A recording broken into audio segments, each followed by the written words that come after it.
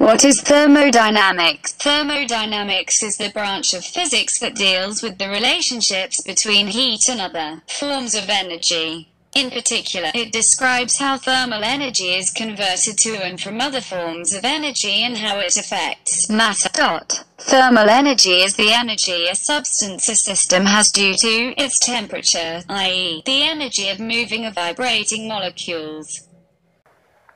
Thermodynamics क्या है? Thermodynamics भौतिकी की शाखा है जो गर्मी और ऊर्जा के अन्य रूपों के बीच संबंधों के साथ काम करता है। विशेष रूप से यह वर्णन करता है कि थर्मल ऊर्जा कैसे ऊर्जा के अन्य रूपों में परिवर्तित हो जाती है और इससे कैसे प्रभावित होता है। थर्मल ऊर्जा ऊर्जा है एक पदार्थ प्रणाली, इसके तापमान के कारण है, यानी चलती या हिल अणुओं की ऊर्जा।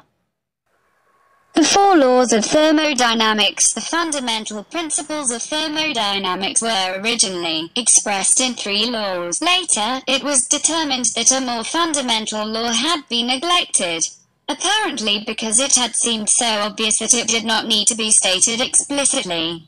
To form a complete set of rules, scientists decided this most fundamental law needed to be included. The problem was that the first three laws had already been established and were well known by their assigned numbers. When faced with the prospect of renumbering the existing laws, which would cause considerable confusion, or placing the preeminent law at the end of the list, which would make no logical sense. A British physicist, Ralph H. Fowler, came up with an alternative that solved the dilemma. He called the new law zeroth law. In brief, these laws are ऊष्म प्रवैगिकी के चार कानून thermodynamics के मौलिक सिद्धांत मूल रूप से तीन कानूनों में व्यक्त किए गए थे बाद में यह निर्धारित किया गया कि एक और मौलिक कानून का अपेक्षा की गई थी जाहिरा तौर पर, क्योंकि यह इतना स्पष्ट लग रहा था कि उसे स्पष्ट रूप से कहा जाने की आवश्यकता नहीं थी नियमों का एक पूरा सेट बनाने के लिए। वैज्ञानिकों ने यह सबसे बुनियादी कानून शामिल करने की आवश्यकता का फैसला किया। हालाँकि,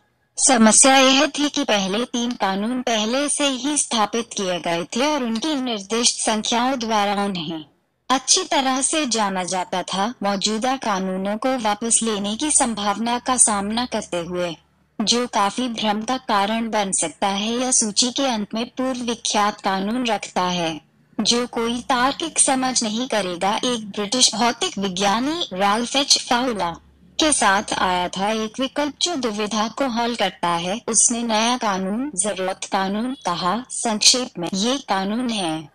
The zeroth law states that if two bodies are in thermal equilibrium with some third body, then they are also in equilibrium with each other. This establishes temperature as a fundamental and measurable property of matter. The first law states that the total increase in the energy of a system is equal to the increase in thermal energy plus the work done on the system. This states that heat is a form of energy and is therefore subject to the principle of conservation. The second law states that heat energy cannot be transferred from a body at a lower temperature to a body at a higher temperature without the addition of energy. This is why it costs money to run an air conditioner. The third law states that the entropy of a pure crystal at absolute zero is zero. As explained above, entropy is sometimes called waste energy, i.e., energy that is unable to do work, and since there is no heat energy whatsoever at absolute zero, there can be no waste energy. Entropy is also a measure of the disorder in a system, and while a perfect crystal is by definition perfectly ordered, any positive value of temperature means there is motion within the crystal, which causes disorder. For these reasons, there can be no physical system with lower entropy.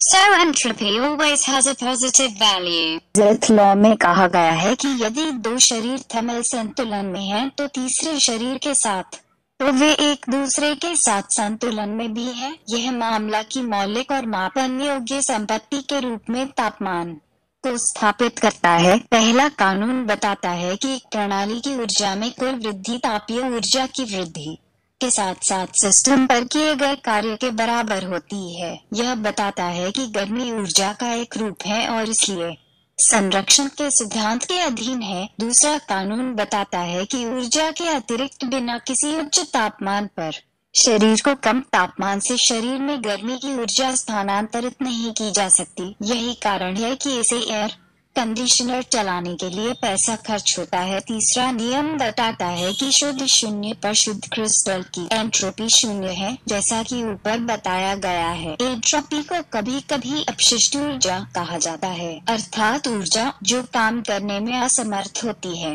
और चूँकि शून्य पर कोई भी गर्मी ऊर्जा नहीं होती है, वहाँ कोई अपशिष्ट ऊर्जा नहीं हो सकती है। एंट्रोपी एक प्रणाली में विकार का एक उपाय भी है।